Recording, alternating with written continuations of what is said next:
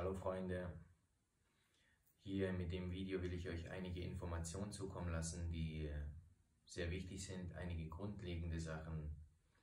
Es geht hauptsächlich erstmal um diese stressige Zeit. Wir wissen nicht wirklich, was es auf sich hat, wir wissen nicht wirklich, was passiert ist. Wir haben sehr, sehr viele Theorien, wir haben sehr, sehr viele verschiedene Beispiele. Alle könnten sein, könnten aber auch nicht sein. Wir wissen es nicht genau. Wir wissen nicht wirklich, was auf uns zukommt. Was wir jetzt machen können, ist nur uns so stark wie möglich und so ruhig wie möglich zu verhalten und uns so gut wie möglich anzupassen. Das Allerwichtigste ist erstmal die Kontrolle nicht zu verlieren. Die Leute machen Panik. In der Panik oder in der Angst können wir nie unser Potenzial ausschöpfen. Wir sind wie wenn wir von außen kontrolliert sind und wir sind hysterisch. Wir sehen nicht mehr wirklich. Es ist genauso wie wenn man Wasser auffühlt, kann man nicht in die Tiefe gucken. Wenn das Wasser dann entspannt, ruhig ist, dann kann man auch wirklich in die Tiefe gucken. Und das Gleiche ist mit dem Geist. Wenn der Geist aufgewühlt ist und wir sind sehr im Stress, können wir uns nicht wirklich anpassen. Wir können nicht wirklich gute Schritte gehen, weil wir nur noch aus Impuls ausreagieren.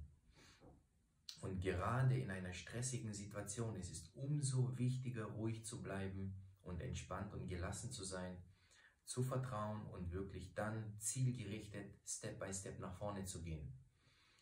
Weit in die Zukunft zu blicken ist jetzt nicht richtig. Was wir machen können ist, es gibt viele Fälle, die negativ sind und im Allgemeinen, es geht um uns, um uns selbst, um unser Immunsystem und das ist auch das Thema hier. Es geht hauptsächlich um die Atmung. Was man kurz wissen muss, wir sind mit dem ersten Atemzug werden wir geboren. Unser letzter Atemzug ist unser sogenannter physischer Tod. Und wir können ohne Essen zwei Monate auskommen, wenn wir Wasser trinken. Ohne Wasser können wir nur zwei bis drei Tage aushalten. Es ist die subtilere Form. Die subtilste Form der Nahrung ist die Luft. Ohne Luft können wir nur zwei bis drei Minuten auskommen. Ein Mensch atmet ungefähr 18.000 Mal pro Tag, vielleicht ein bisschen mehr, mal weniger, ist individuell. Und dazu will ich einige Sachen sagen.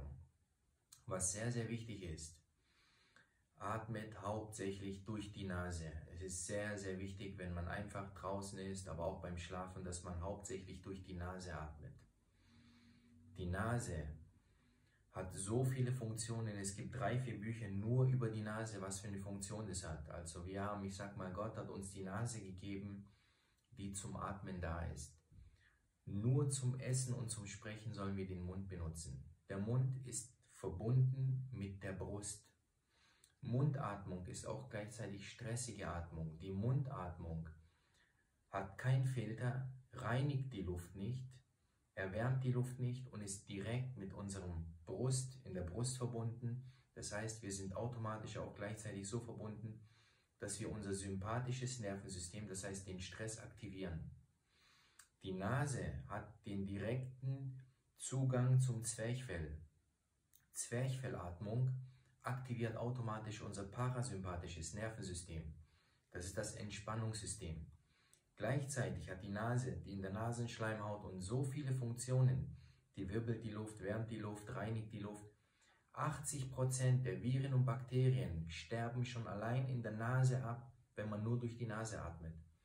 Wenn wir durch den Mund atmen, ist diese Funktion gar nicht mehr da. Die andere Sache ist, wenn wir durch die Nase atmen, produziert das, es produziert in den Nasennebenhöhlen Stickstoffmonoxid. Stickstoffmonoxid ist dafür da, dass die Blutgefäße sich erweitern, dass, dass das Gewebe und die, die Muskeln von dem Sauerstoff den Zugang bekommen. Gleichzeitig wird da viel gereinigt und gleichzeitig werden Viren und Bakterien auch abgetötet. Es ist eine Funktion, es gibt viele wissenschaftliche Beweise dafür und all das hat die Mundatmung nicht. Das Einzige, diese Maske und alles Mögliche, was ihr da seht, das ist nicht wirklich hilfreich.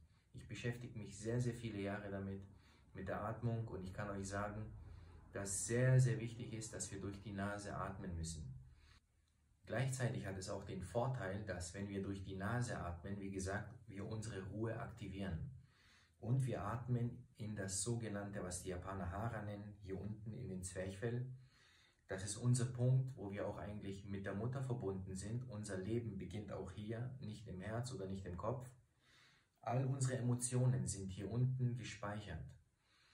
Wenn wir durch die Nase atmen, automatisch entspannen wir diesen Bereich. Unser Körper löst automatisch positive Stoffe aus. Unser Immunsystem wird gestärkt. Das ist tausendfach bewiesen.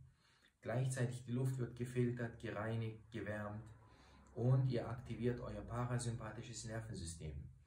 All dies ist sehr wichtig heutzutage. Erstens fürs Immunsystem, zweitens für Gelassenheit, drittens gerade in stressigen Situationen, wo es gerade abgeht, einfach mal versuchen, ruhig zu sein und dann wirklich die richtigen Schritte zu gehen. Es ist sehr wichtig, dass wir genau, wie ich diesen Satz schon oft gesagt habe, die Ruhe in der Ruhe ist nicht wirkliche Ruhe, nur die Ruhe im Stress ist wirkliche Ruhe. Und gerade im Stress sollten wir ruhig sein, um wirklich besser zielen zu können. Wir müssen gucken, was wir tun können und nicht impulsiv reagieren. Die Menschen sind in Panik. Wenn sie in Panik sind, ziehen sie noch mehr Ärger an, noch mehr Ängste an.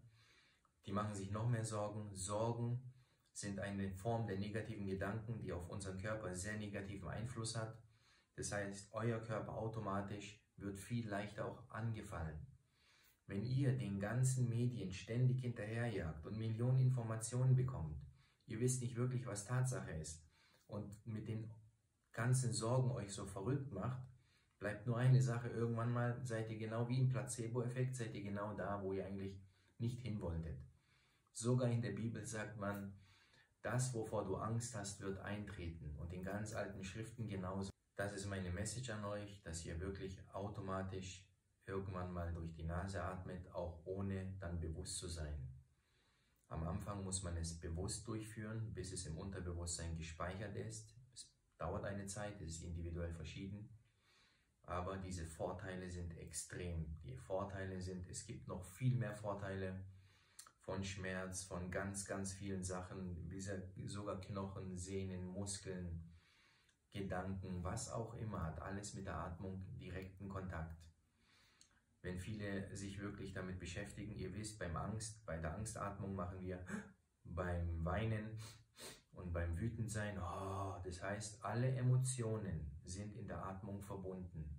Und unsere Emotionen kreieren unsere Realität und manifestieren sich in der Realität. Wenn wir negativ denken und fühlen, ziehen wir Negatives an. Wenn wir positiv fühlen können, positiv denken können, wir können durch unsere Atmung da Einfluss nehmen, weil viele versuchen sowas beizubringen, dass man einfach positiv denkt. Das geht ganz schwierig. Mit der Atmung haben wir einen direkten Zugang dahin. Und glaubt mir, ich mache das sehr, sehr viele Jahre. Ich bin 30 Jahre damit beschäftigt, weltweit. Und ich habe sehr viel gesehen, sehr viele Feedbacks mitbekommen, vom Negativen bis sehr Positiven, wie es nicht gemacht wird und wie es gemacht wird. Was ihr mir glauben könnt und was ihr für euch selber umsetzen könnt. Achtet wirklich mal auf eure Atmung durch die Nase. So seid ihr auf jeden Fall mal 80, 90 Prozent schon im Ansatz geschützt. Und es ist sehr, sehr wichtig, und wie gesagt, diese anderen Vorteile mit der Gelassenheit, mit dem System, dem Nervensystem, all diese Nebenwirkungen werdet ihr auch merken. Was wirklich passiert, wissen wir nicht. Wir hoffen das Gute, aber bleibt positiv, verbreitet positive Energie, verbreitet gute Kraft und keine Panik, denn mit Panik, wenn es helfen würde, panisch zu sein, würde ich auch Panik machen. Aber es hilft nicht. Lieber cool bleiben, ruhig bleiben, stark bleiben und im richtigen Moment dann handeln. Und das hier ist alles verbunden, ist eine Kettenreaktion. Achtet auf euch selbst, atmet durch die Nase, seid bewusst, seid cool, seid stark. Auch wenn es nicht so einfach ist, aber es ist das Beste, was wir machen können. Ich wünsche jedem von uns alles Beste, dass wir gut durch die Zeit kommen und wir schaffen das.